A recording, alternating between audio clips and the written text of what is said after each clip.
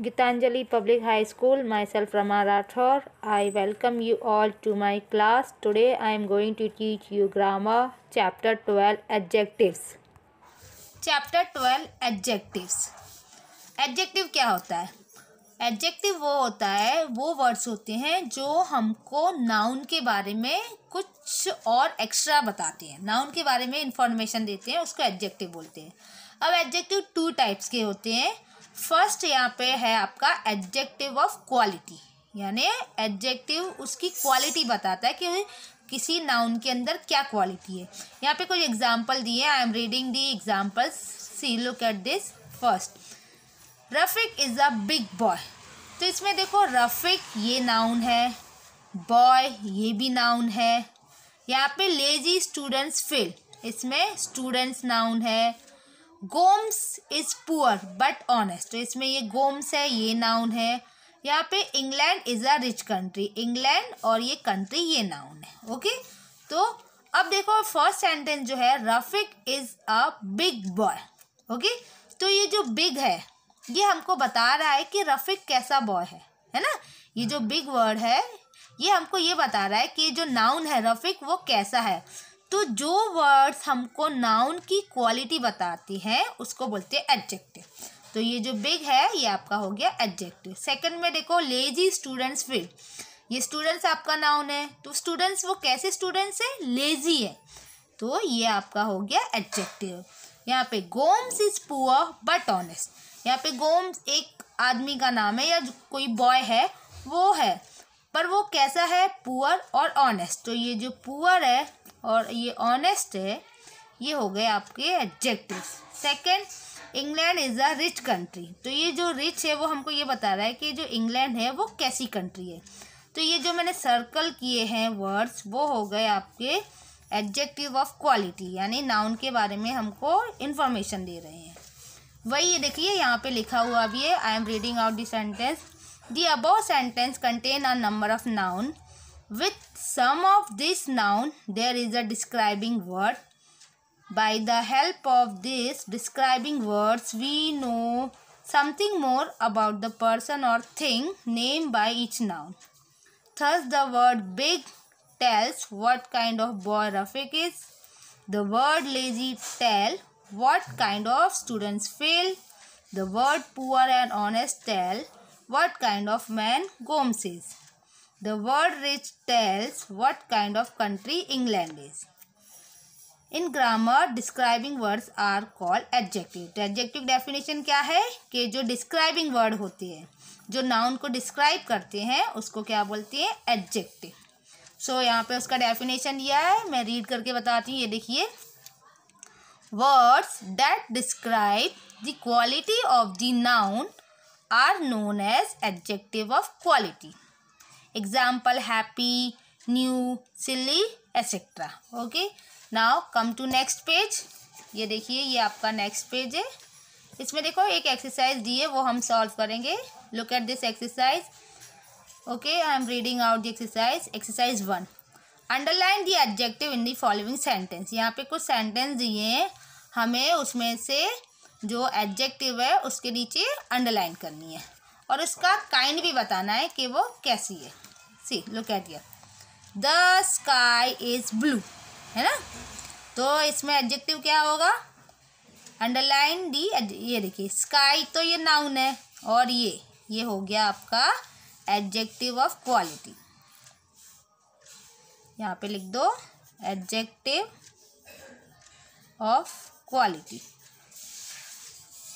quality second the sum is hard तो इसमें सम, ये तो हो गया आपका नाउन वो सम कैसा है? हार्ड तो ये हो गया आपका एडजेक्टिव ऑफ़ क्वालिटी इसमें लैड इज़ हैवी तो ये हो गया आपका adjective the cow is a useful animal ये हो गया आपका एडजेक्टिव यूजफुल यानी वो एनिमल कैसा है? Useful the rose is a beautiful flower तो रोज कैसा फ्लावर है? Beautiful mister Pal is a rich merchant तो ये रिच हो गया आपका एडजेक्टिव यहाँ पे। Varanasi is a holy city ये होली हो गया आपका adjective second the flowers are yellow तो ये हो गया आपका एडजेक्टिव मैंने यहाँ सारे एडजेक्टिव्स अंडरलाइन कर दिए now come to next exercise अब देखो ये दूसरी एक्सरसाइज है। इसमें देखो आपको क्या करना है। Look at this exercise fill in the blanks with proper given word in the boxes below यहाँ पे आपको हेल्प बॉक्स दिया है। इसमें से आपको चूज़ करके ये पूरे सेंटेंस कंप्लीट करनी है। फ़र्स्ट वाला द पेपर इज़ पेपर कैसा हो सकता है? थिन या फिर थिक कैसा भी हो सकता है। यहाँ पे लिख दो the paper is thin paper तो पतला ही होता है तो इसलिए थिन द बुक इज़ कैसा होगी? बुक कैसी होती है? हैवी हंग्री हैप्पी थर्स्टी कैसी होती है? द बुक इज़ थिक यहाँ पे मैंने लिखा है थिक यानी मोटी है। The boy is dash boy happy भी हो सकता है सैड भी हो सकता है। यहाँ पे दोनों दिए हैं तो मैंने यहाँ हैप्पी लिख दिया है।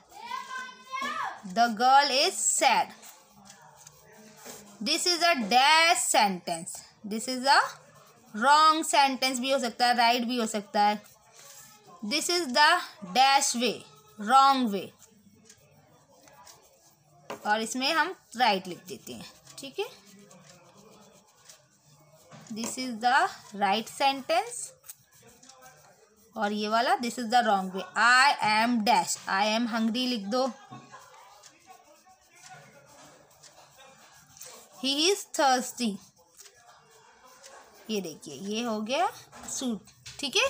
ये मैंने सारी एक्सरसाइज कर दिए अब एडजेक्टिव ऑफ़ क्वालिटी तो हमको पता चल गया कि क्वालिटी मतलब उसकी उसके अंदर नाउन के अंदर क्या क्वालिटी है, वो बताते हैं। अब दूसरा टाइप है आपका एडजेक्टिव ऑफ़ क्वांटिटी क्वांटिटी मतलब वो कितना है, यानी जो वर्ड्स हमको ये बताते कि नाउन कितने हैं, कम है, ज़्यादा है बहुत कम है, उसको बोलते हैं हम एडजेक्टिव ऑफ़ क्वांटिटी क्वांटिटी मतलब उसकी वो कितने हैं।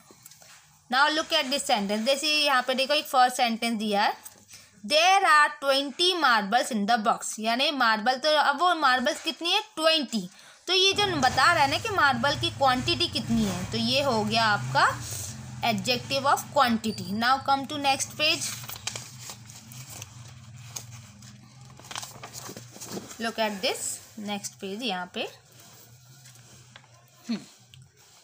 तो एडजेक्टिव ऑफ़ क्वांटिटी की डेफिनेशन क्या है? Word that answer the question how many और how much are called adjective of quantity. यानी जो वर्ड्स हमको ये बताते हैं, जिससे हमको ये पता चलता है कि नाउन कितना है, क्या नंबर है मतलब कितने वन टू थ्री या फिर कम है, ज़्यादा है, उसको हम बोलते हैं एडजेक्टिव ऑफ़ क्वांटिटी यहाँ पर एक एग्जांपल है the bottle is full of water तो ये फुल ये हमको बता रहा है कि वो जो बॉटल वो पूरी भरी हुई है। तो ये हो गया आपका एडजेक्टिव ऑफ़ क्वांटिटी यहाँ पे there are few days left for your exam तो इसमें ये जो फ्यू वर्ड है, ये हमको बता रहा है कि कितने दिन बाकी हैं। तो ये हो गया आपका adjective of quantity all this word answer the question how many और how much these are adjective of quantity ठीक है? आई थिंक आपको समझ में आ गया होगा कि एडजेक्टिव ऑफ़ क्वांटिटी क्या होता है। अब यहाँ पर देखो, एक एक्सरसाइज है। Look at this exercise see change the following noun into adjective with the help of suffix alongside यहाँ पे देखो, कुछ यहाँ पे हेल्प करने के लिए आपको कुछ सफिक्स दिए हैं। सफिक्स क्या होता है? जो नाउन के बाद लगते हैं, उसको बोलते हैं सफिक्स यहाँ पे देखो एक वर्ड कंफर्ट तो मैंने इसको, ये देखो कंफर्ट के साथ एबल लगा लिया. तो क्या हो गया? कंफर्टेबल यहाँ पे डिलाइट डिलाइट के साथ क्या लगेगा डिलाइटफुल ग्लोरी के साथ ग्लोरियस और मैंने ये एडजेक्टिव्स बना लिए. अब उस एडजेक्टिव्स को हमको नाउ सेंटेंस बनाना है. तो यहाँ देखो मैंने सेंटेंस बनाया है. The rooms are very comfortable delightful का? My parents were delightful to see me after five years इसमें देखिए नेक्स्ट आपका ग्लोरी ग्लोरी का glorious fifteen August is the glorious day of India come to next page question number D harm का harm के साथ मैंने full लगा लिया तो harmful junk food are harmful for our health ई वाला देखो हेल्थ के साथ healthy we should eat healthy food hope के साथ hopeful I was hopeful about my success envy का envious my friend is envious of me ये exercise आपकी finish हो गई। अब मुझे लगता है आपको एडजेक्टिव समझ में आ गया होगा। एडजेक्टिव ऑफ़ क्वालिटी क्या होता है और एडजेक्टिव ऑफ़ क्वांटिटी क्या होता है? Okay students thank you